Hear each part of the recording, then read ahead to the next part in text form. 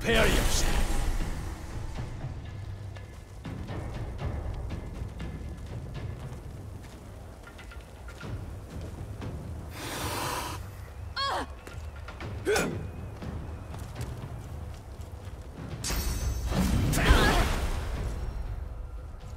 Into the dark with you.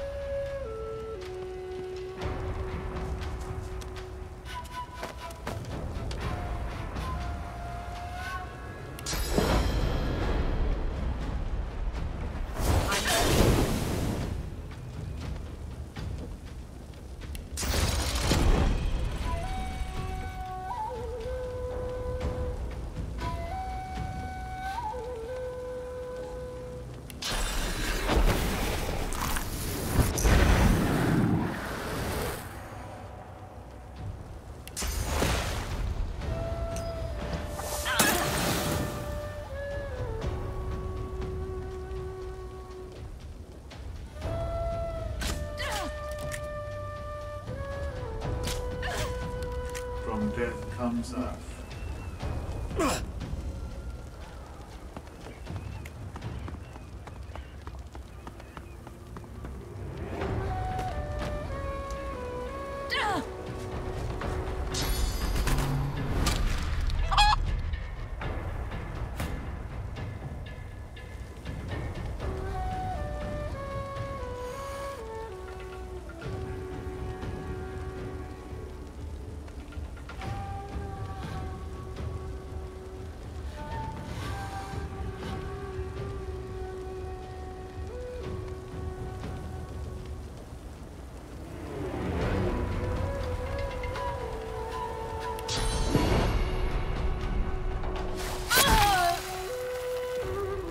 Thank Duna's blessed beard that's over, because I'm done with this.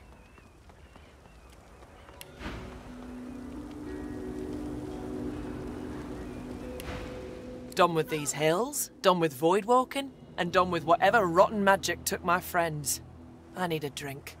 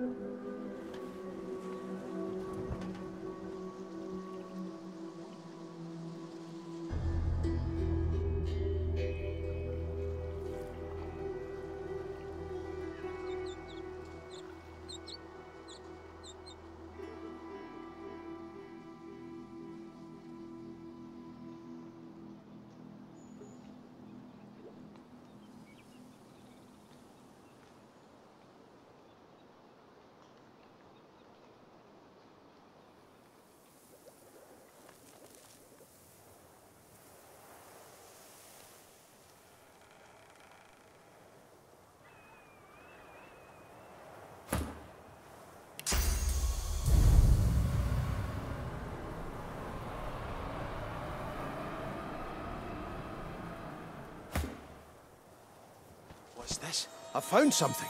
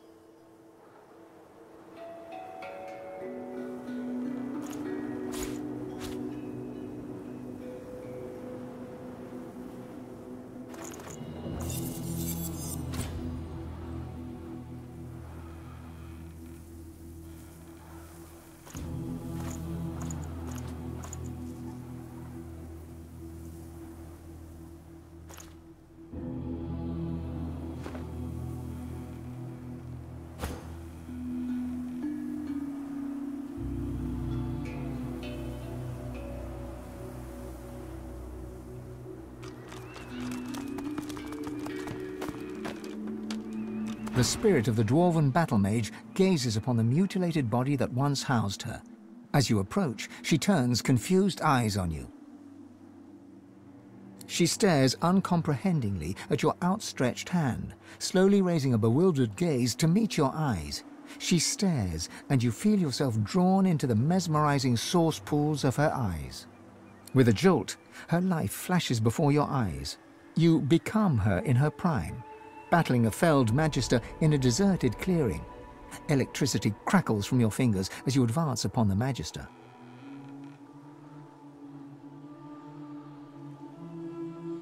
The Magister is part of something dark, something cruel, something that goes against the very fabric of your being. All bets are off. Merciless, you attack her with spell and blade. As her warm blood spurts to cover your face, you are sated. A satiety you would never speak of, a satiety that momentarily fills the emptiness within you. Wait, who are you? You can't. You can't remember. You are thrust out of the spirit's memories and back into your own sovereign mind. You see the spirit of the dwarven battle mage before you, eyes downcast now.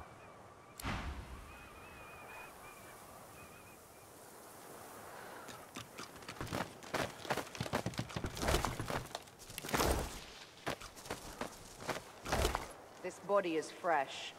Were they a sorcerer?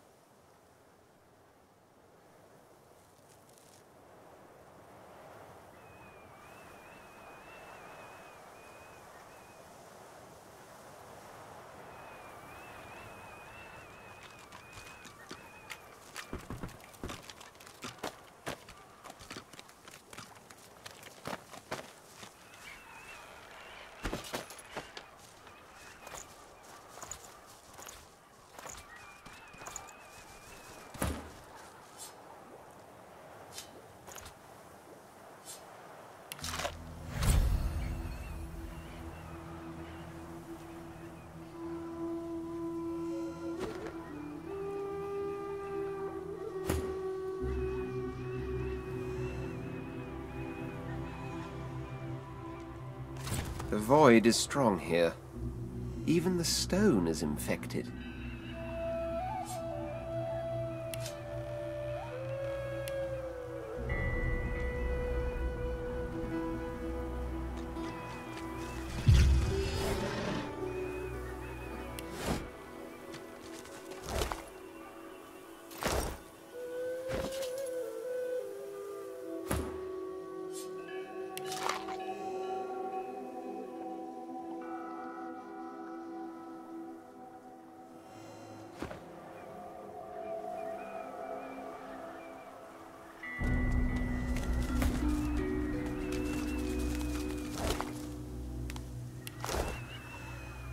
The spirit tugs and tugs at the source collar around his neck, though it budges not an inch. We couldn't. I couldn't. Is it really our fault? The Void Woken. He gives you a look full of hope, then remembers the collar round his neck and slumps forward, letting his hands hang heavy by his sides.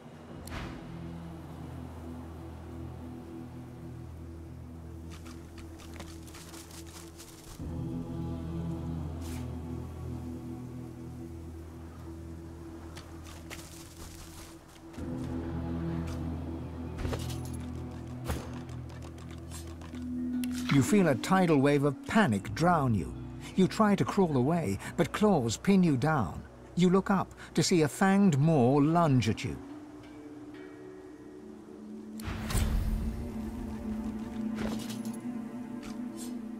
You shift uncomfortably as the wagon traverses a patch of bumpy ground. The Magisters haven't removed your shackles, even though there's nowhere to run. You sigh and gaze outward. The landscape rolls past, empty and still. But then you see something flying close to the horizon. Several things, in fact. You peer closer. What are those? Birds? Your eyes widen as they draw nearer. Those aren't birds. You turn around to shout a warning, but it's too late.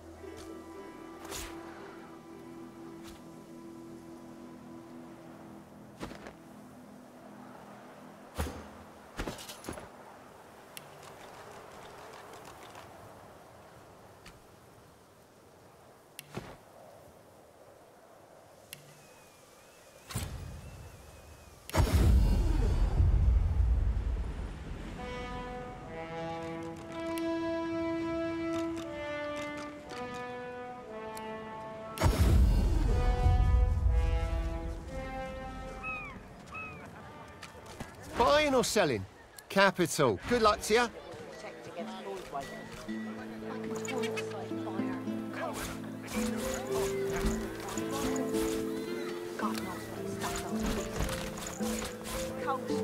Smells worse over here than a dozen rotten eggs dropped in a vat of vinegar. Then don't come over. Not like you're buying anything. If I don't come visit your ton, who will? Wouldn't you like to know?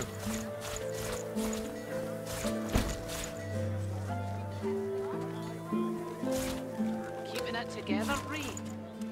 I'm all right, Your fish stinks of the void. What kind of rat would sell such filth? You're filth? safe among friends. Never The kind that don't fancy starving, along with the rest of this town. It's all well and good for you with your rations. We've got to take what we can get. Keep talking, dwarf, and you'll end up eating sawdust from a cell floor. Ah.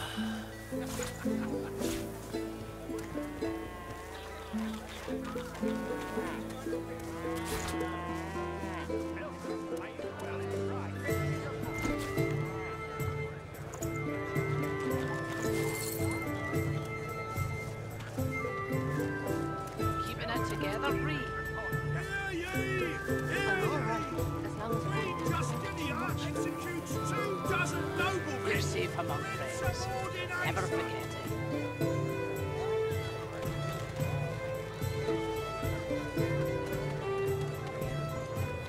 Smells worse over here than a dozen rotten eggs dropped in a vat of vinegar. Then don't come over. Not like you're buying anything. If I don't come visit your ton, who will? Wouldn't you like to know?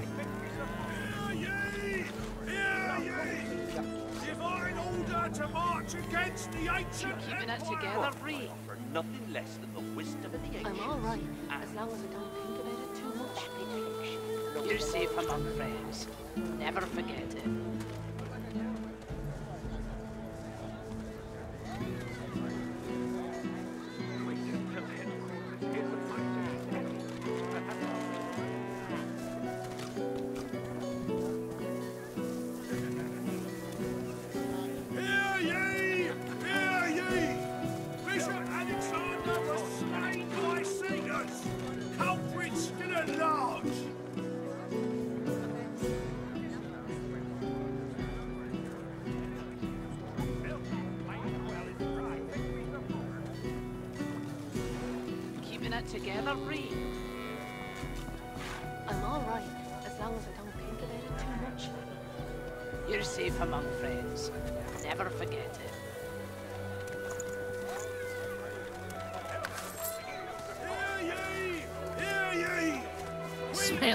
Worse over here than a dozen rotten eggs dropped in a vat of vinegar. Then don't come over. Not like you're buying anything. If I don't Back come visit- again, eh? It's free to fair travels, friend. Keeping it together, Bree? I'm all right, as long as I don't think about it too much. You're safe among friends. Never forget it.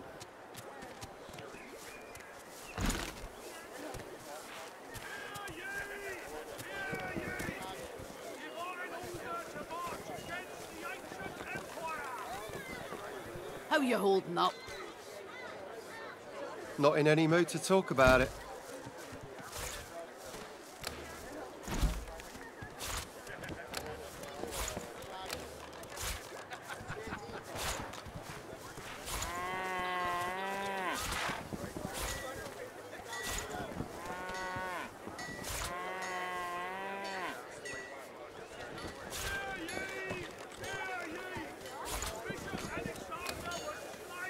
Keeping it I'm all right, as long as I don't think about it too much.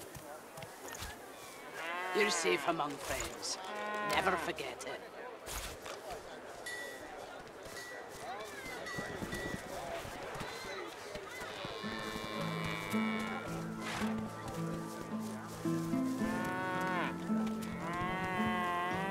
Keeping it together, Bree?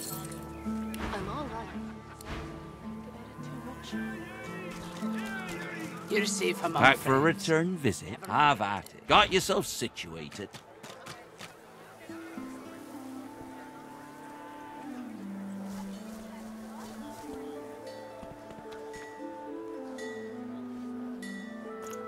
How you holding up? Not in any mood to talk about it. Tell me, have you heard any news? Nothing good. The void woken are everywhere. Thank the divine you're here to protect us.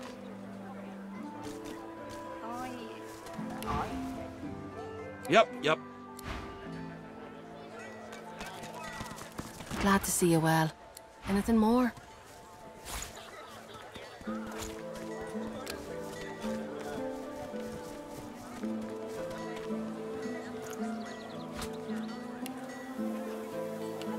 Smells worse over here than a dozen rotten eggs dropped in a vat of vinegar. Then don't come over. Not like you're buying anything. I don't come visit your ton, who will? Wouldn't you like to know?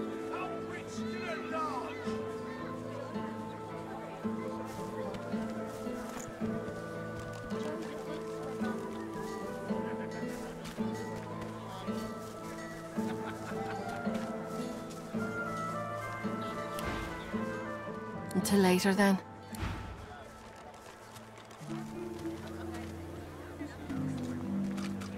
There's a lot of call for the junk you sell, then. Junk? Why, I offer nothing less than the wisdom of the ancients. And Vapid fiction, along with a large helping of ham.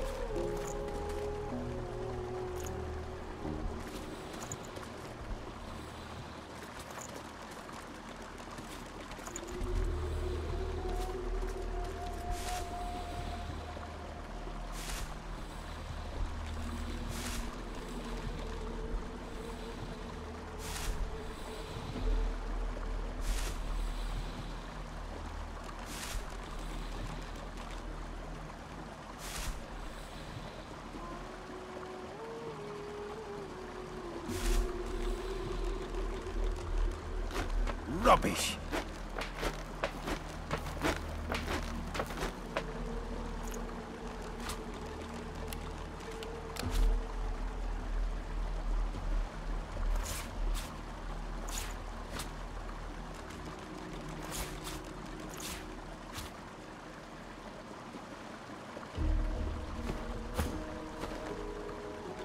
A dwarven spirit cowers on the ground, trapped in the fear of her final moments.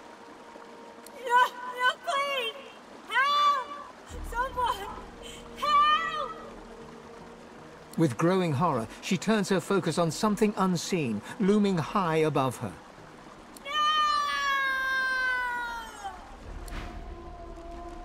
Looks like this is Lohar's place, or what's left of it. Could Mordus have survived this?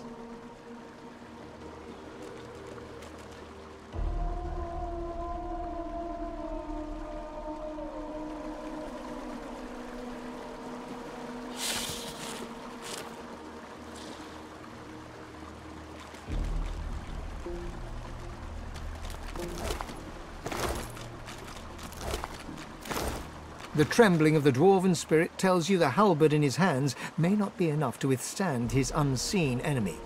He glances behind him, searching for an escape. He drops the halberd and bolts behind some nearby rocks. Divine, save me! I don't want to die, please! I don't want to die! I don't want to die!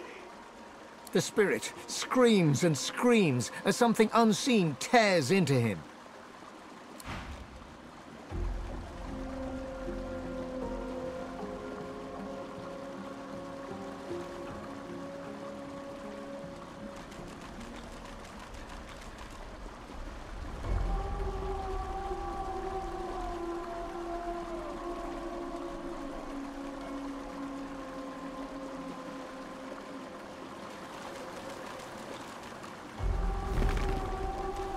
There's a void woken on the bridge ahead. But where's it going?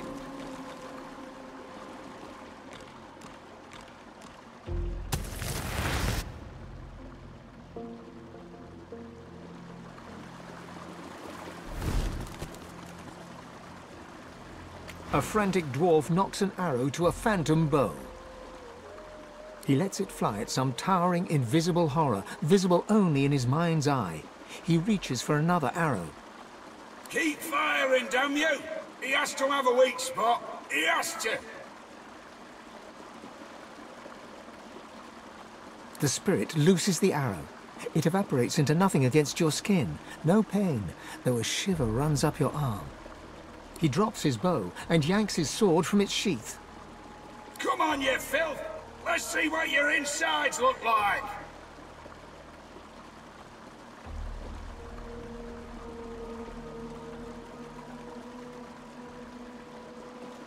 There's nothing there.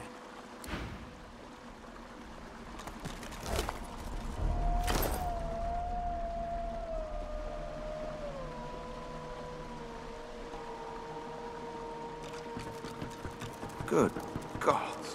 What happened? The dwarf rocks on her haunches, gnawing at her own bloody knuckles. Her wet, fearful eyes flick to you. She lowers her fist just enough to hiss a warning. Away! Away! Too noisy! It'll come back! It'll take me too! She shrinks into the fetal position. It'll come back! It'll come back! It'll come back! It'll come back! And we'll all be eaten alive! The dwarf shakes her head vigorously. No! I don't want to look! I saw too much already! Too much! Your efforts draw an expression of eerie calm. She stares up at you, wide-eyed. You'll see for yourself! They take us for food! They take us for food for their spawn! They'll take you too!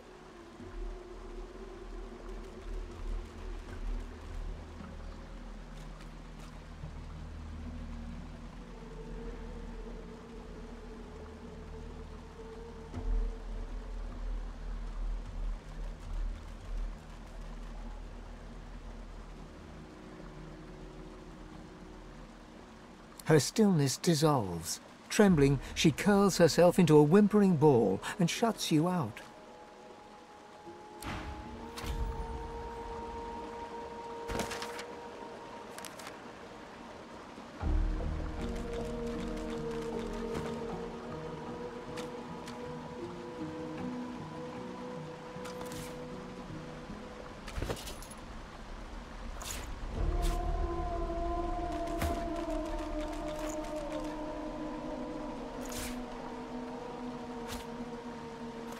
Tried to make a break for it, from Fort Joy to the beach. You didn't make it. You died to the sound of your own echoing screams as the Voidwoken and gnawed your bones.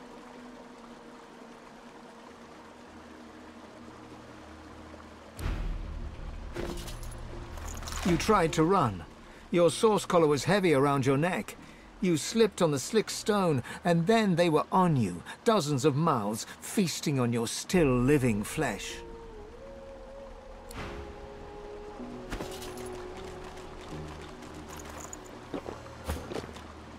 What?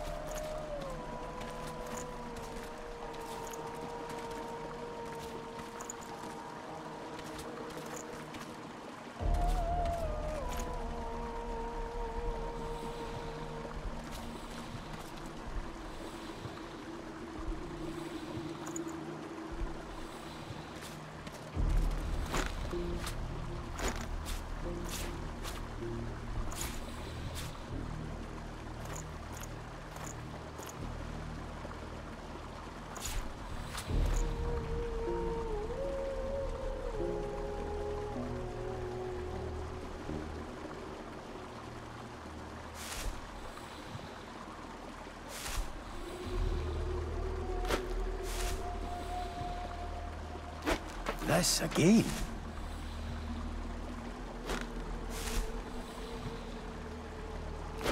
Rubbish.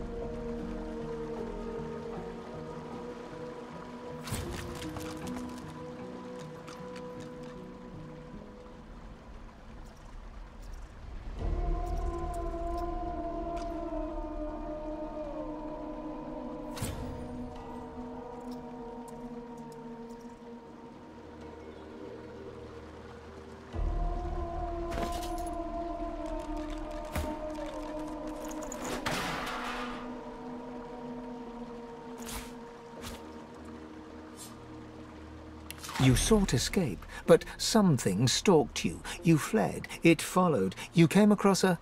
a pile of bones. In that moment, you knew that this would be your fate.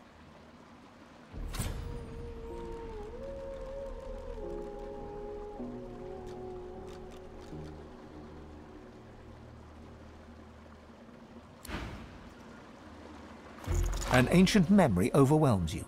You are no longer you, but you still sense Source saturating the air, more than you have ever felt before. You watch a figure stride through a cavern of amethyst and rose quartz. A man. No light touches this place, yet the stones and minerals illuminate his way. The man approaches a pearl sphere atop a pedestal. He lays his hands upon it, and Source rushes through his fingers. And you are thrust back into reality. The memory fades, but you still sense the source the man has commanded, as if you'd possessed it for yourself.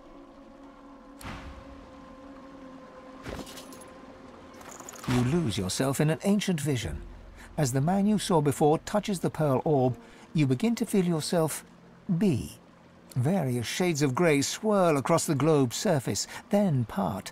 You are free, joined by seven others, summoned by sacrificial source.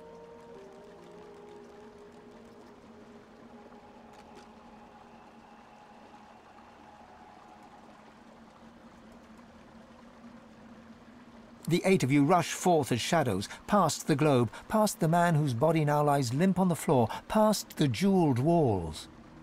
The vision ends just as you emerge from the cavern. This memory, it feels ancient, a lost place in a lost time. You turn away from the sunset, only to see that Stanley has dropped to one knee. He holds out a ring to you with a sheepish grin.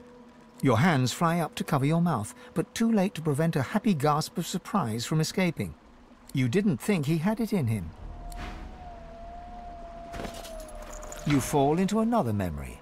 You emerge from the crystalline caves, past the orange rubble jutting from the ground, and rise above a shimmering lake. Surrounding the lake is a throng of figures, your worshippers, our worshippers. They will deliver your rightful power to you. You will be as gods. The mob drops to its knees as one. The shimmering lake, once placid, begins to boil and bubble, draining source from every supplicant. The past fades into the present. You see through your own eyes once again.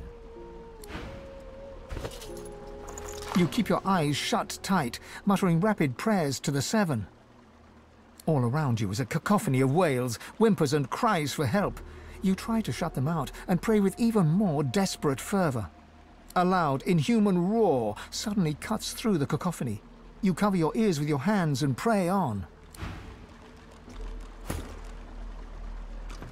Get out before he knows you're here. You think I stopped to get a name? They locked him up, but he got out, and they went crazy. They all went crazy. Run. If you know what's good for you, run.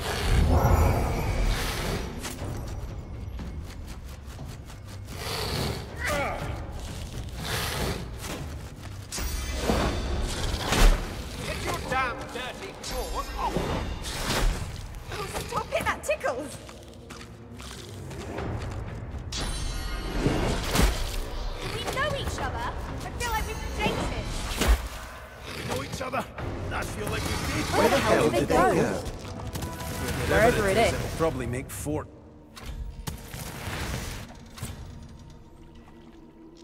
Where am I?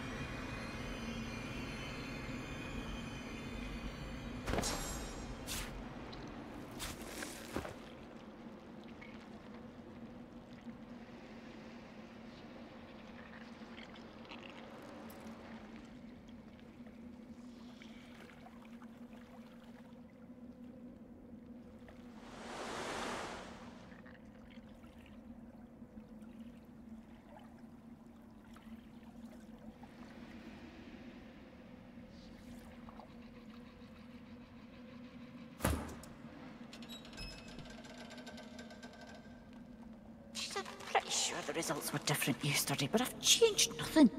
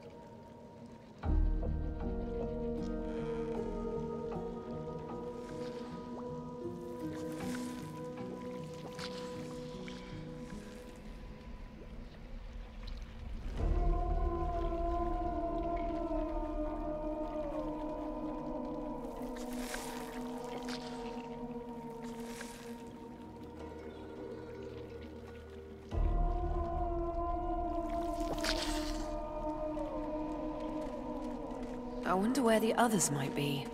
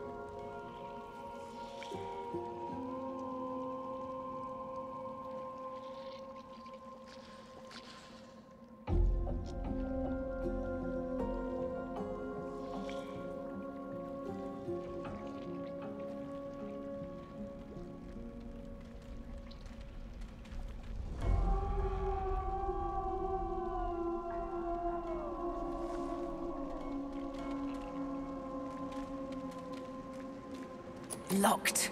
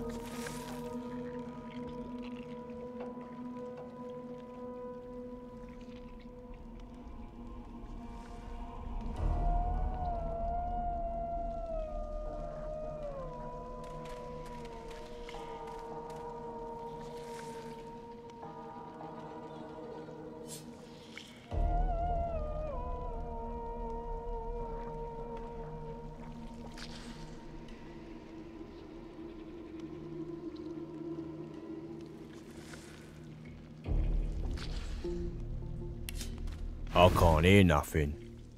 Nothing but that voice. It won't stop, it never stops.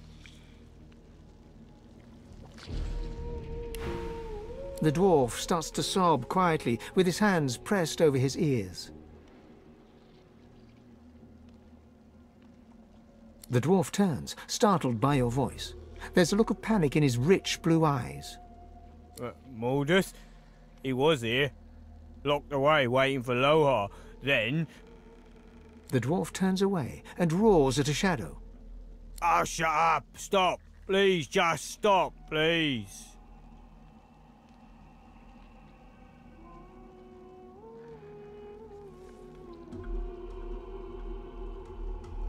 He grabs your arm, pawing at you while his mouth moves silently.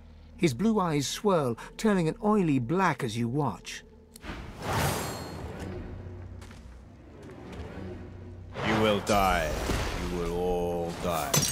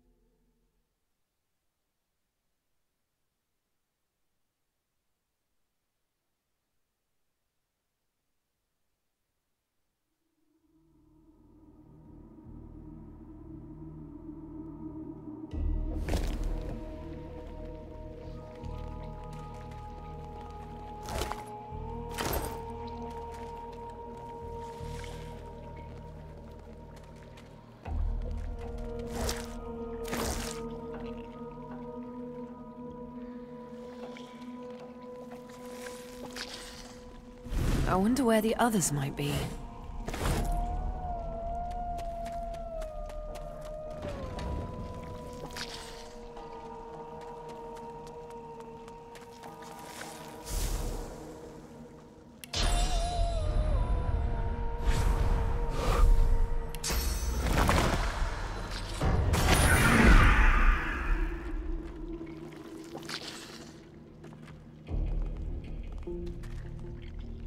Thank you.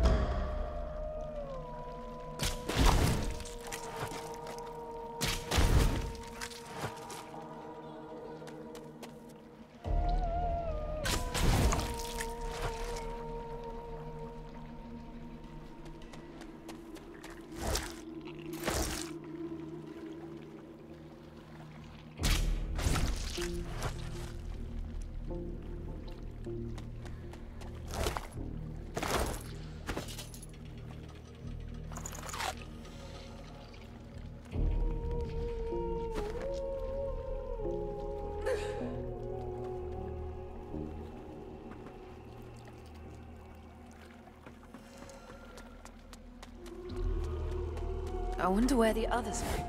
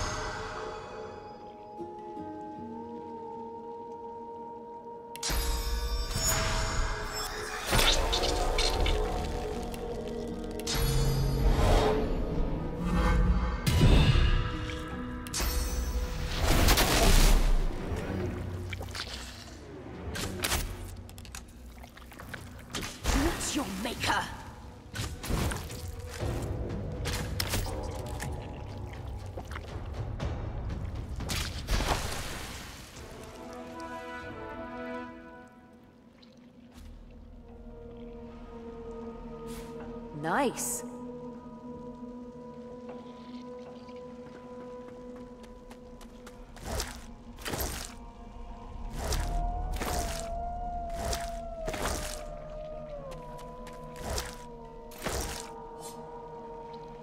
The fish wished it had been the one that got away.